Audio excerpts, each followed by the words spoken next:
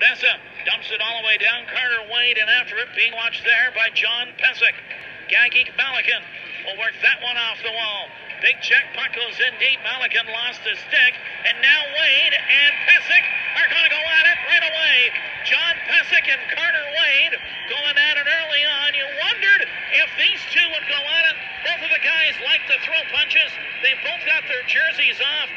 Their jerseys on, their helmets on as well. Good right hand from Wade. Pysyk coming back with a right hand of his own. Took off his helmet, and now the linesman get in there. But a pretty good tussle.